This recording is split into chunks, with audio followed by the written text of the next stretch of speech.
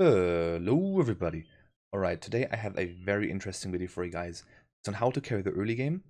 And before I start the video though, I would like to ask something of you guys. Um, only 15% of the people who watch my video or, or videos are subscribed. So if you guys haven't subscribed already, I would highly appreciate it. Also activate the notification bell because sometimes YouTube doesn't like to recommend my videos to my subs, which would also explain why the subscription number is so low. So yeah, anyways, let's get right into the video. So here's the thing. Before the game starts, the first thing you want to do is, um, even in champ select already, you want to assess matchups. What that means is, okay, let's look at this from uh, our perspective. Top lane is our Maokai into enemy Darius. So you want to think about this lane. Can I gank this lane? How does this lane play out? They're both melee, which means they're going to be trading a whole lot. They're going to be fighting a little bit. Um, this is good for me because that means they're both going to be potentially lower HP, which uh, can mean, first of all, it's, it's easy to kill him because when he's lower HP, I don't have to do as much damage, and it's really risky for him to stay, um, to farm and CS and stuff. But that also means that um, the Darius might just go in for a solo kill and try to kill the the um, the Maokai, and I can be there to help him out and cash in a free kill. Now, Mid lane is even better for me, theoretically, because I have LeBlanc, which is really easy, or she makes it really easy to set up ganks. She W's in, then E's the Kassadin, and if the Kassadin doesn't have flash and is pre-6, it's basically a guaranteed free kill. I place my box down, it's 2 seconds of uh, pure CC with, uh, combined with Eve, uh, not Eve, combined with LeBlanc. So ganking mid lane is also really, really good. Now bot lane is kind of scary um, the, the Thresh was really, really good. I, I knew this guy. He's a really clean Thresh player.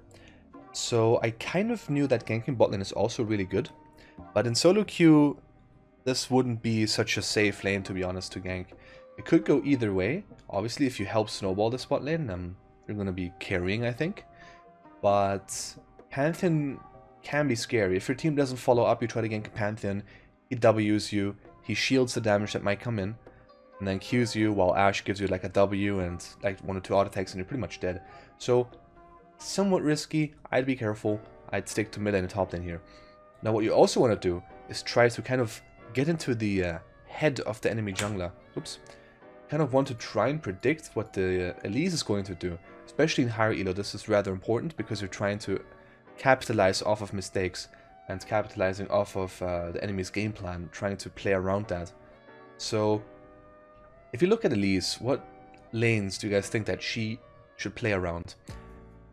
I'm gonna give you like one or two seconds.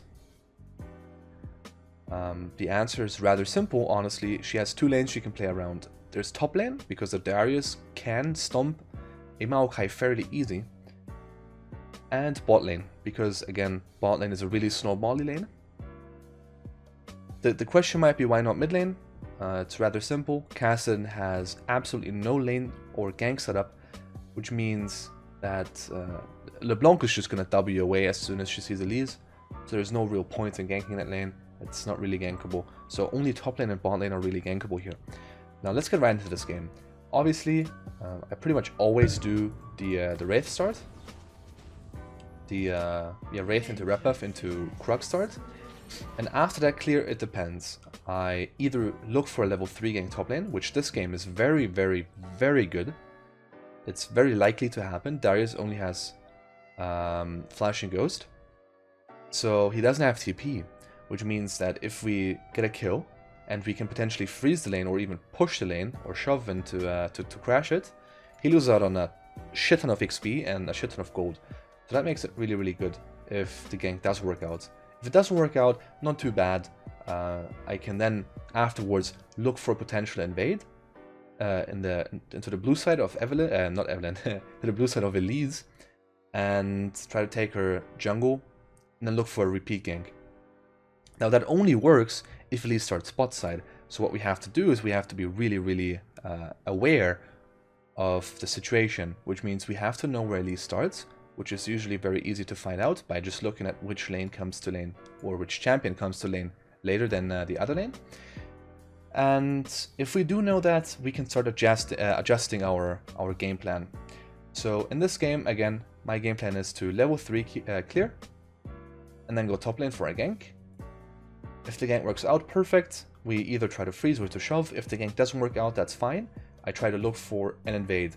Now if Elise does start top side, that means I can go back and go to my bot side, because if I don't, she's going to go from her blue buff from this side of the map to my blue buff and just gonna take my jungle if I'm not careful enough. Of course, I do probably have lane prior on mid lane. I'm not sure if I have lane prior on, mid, uh, on bot lane, but that's just planning too far ahead. Uh, it could go either way. So let's see how this game goes. I uh, start top side. Place my boxes down. Obviously, if you don't know the setup, then uh, you're missing out on something. It's in my uh, 10.1 Shaco guide. So if we look at this, right? Bot lane is in lane. Jesus my bot lane. So that means, you know, since Darius isn't on lane, she started top side. So that's something you have to keep in mind. Now, our game plan that we had, or that I had, doesn't work here anymore. If I level 3 gank, I don't have the chance of taking her jungle anymore. I don't think she's going to take everything, she's probably going to leave the wolves, but going into her jungle just for wolves and then trading my entire bot side is not worth it. So we have to be careful now. So uh, we clear red buff, and then uh, afterwards we clear Krugs. Now bot lane luckily gets a double kill here, which is totally coin flip. This could have gone either way. Could have also gone uh, a double kill for Ashe or could have been a double kill for Pantheon. But this doesn't really impact uh, our plan too much because it's on the opposite side of the map and we don't really care about it much yet. So you should always be checking your lane that you are uh, within range, I guess. So you should be checking mid lane, you should be checking top lane as you clear your camps. Now looking at mid lane, there's just absolutely no way I'm going to gank this guy. LeBlanc is doing a great job of pushing this Kassadin in, because she wants to try and deny as much CS of the Kassadin as she can. It's really hard for Kassadin to farm on tower. So yeah, she achieved her uh, game plan.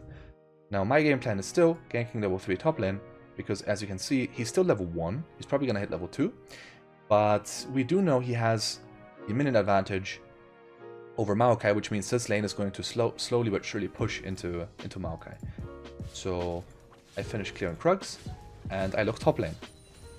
Now again, we have to keep in mind that even if this gank succeeds, you have to be careful because Elise is on the opposite side of the map, uh, sorry, the opposite side of the map, and she could easily invade my blue buff. Now, okay, let's look at this. So Darius wastes his E, which is really good because the E if you are too close to Darius, he actually pulls you in and then pu pushes you away a little bit again, which makes um, makes it really easy for him to hit his Q and get a double heal. So now his E is down. So Maokai uses his Q.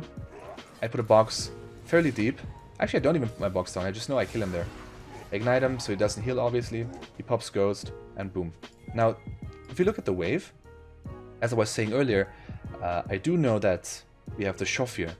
Uh, not the Shove the, the Freeze here, because if you don't know basic wave management, this is probably the, uh, the part where you should look it up. But since he has more caster minions than we do, this lane is slowly but surely starting to push into Maokai, which is also why Maokai decides to recall here and just take the freeze for free.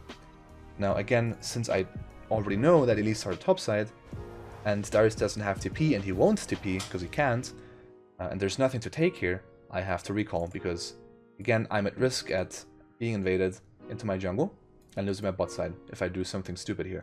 Also, top uh, mid lane isn't gankable, and waiting like two minutes until the Darius comes back to lane is not worth it. So the only chance or opportunity, not opportunity, but the only decision I can make here is recalling.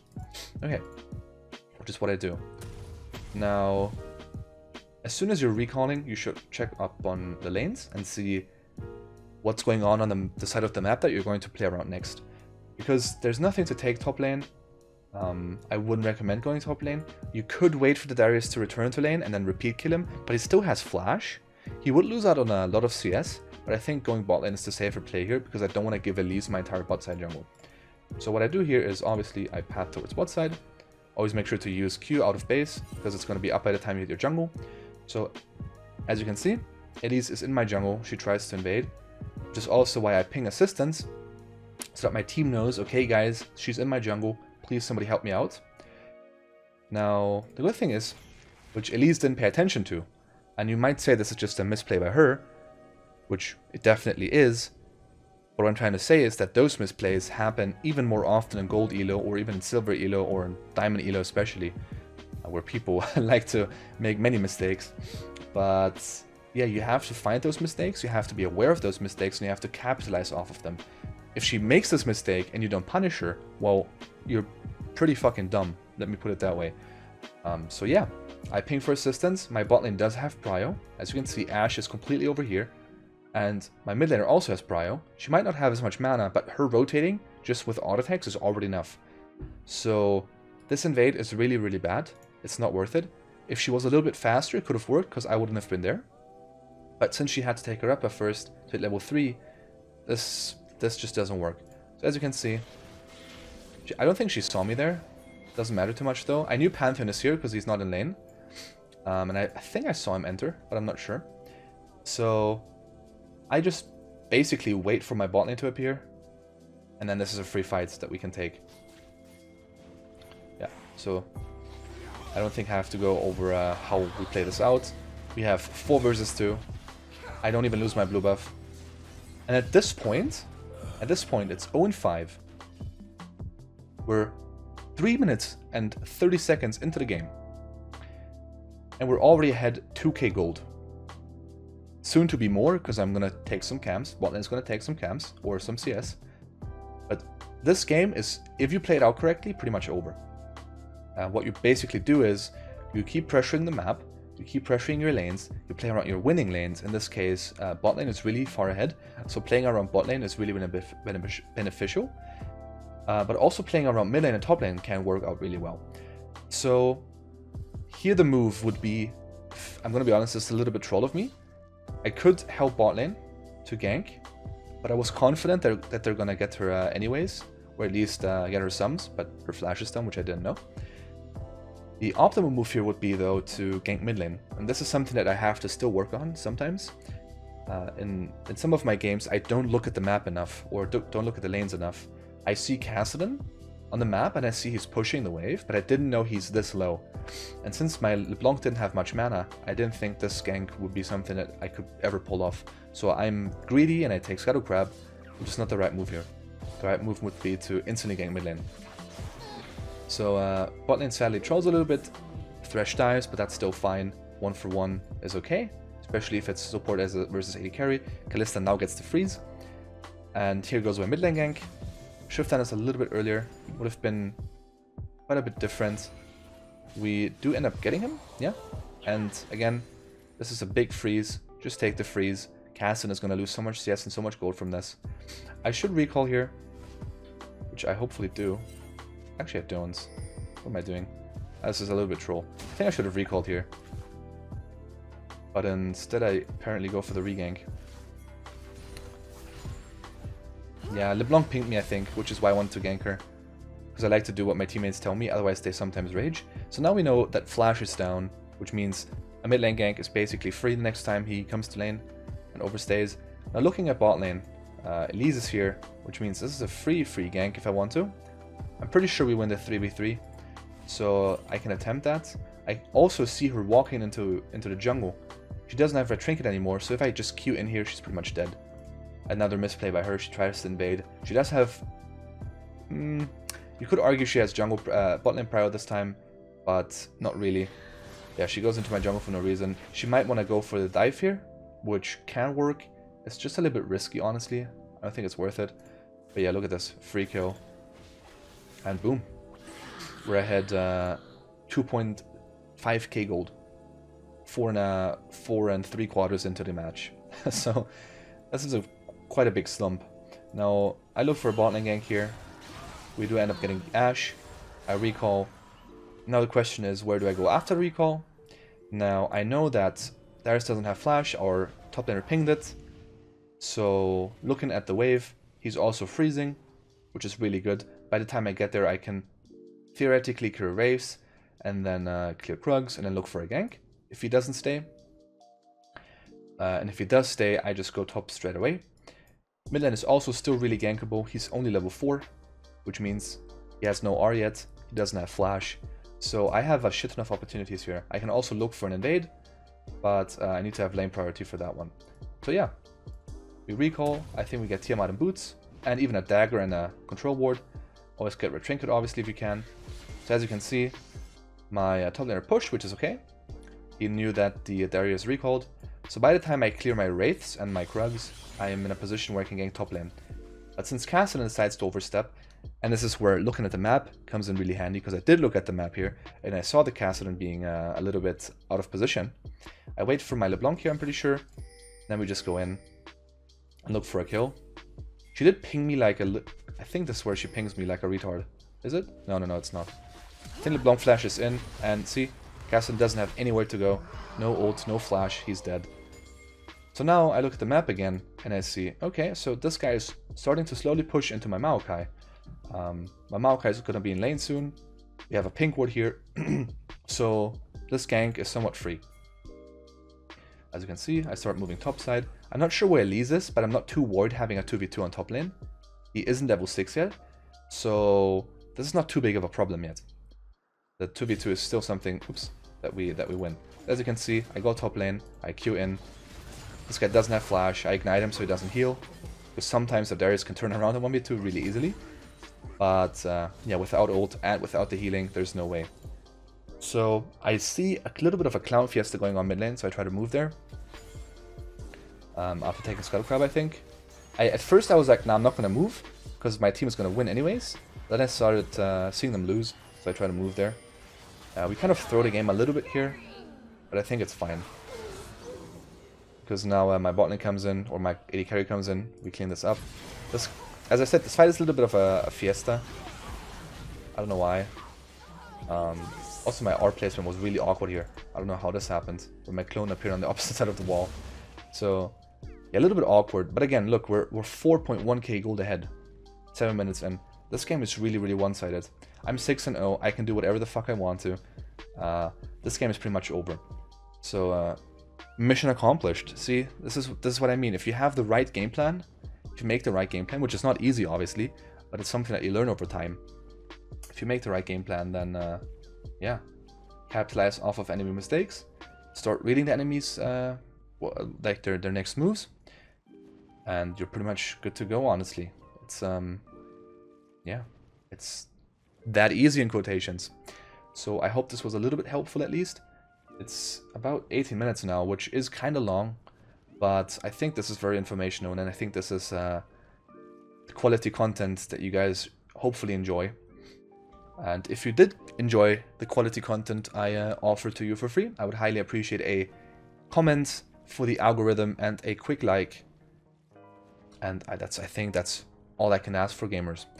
Then again, if you guys want to watch me lay, uh, not lay, play live on Twitch, I do play my uh, Road to Challenger on Twitch at the moment. So if you guys want to watch me play live, or if any questions that you want to uh, have answered, then uh, join my Discord or check out my Twitch. I would highly appreciate that. If not, then that's fine too. But I will see you guys in the next video. As I said, I hope you enjoyed. And peace out, gamers.